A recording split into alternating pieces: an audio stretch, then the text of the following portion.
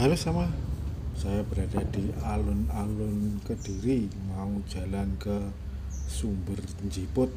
Ikuti perjalanan saya seperti apa di jalan raya. Ini hari Minggu. Oke, ikuti.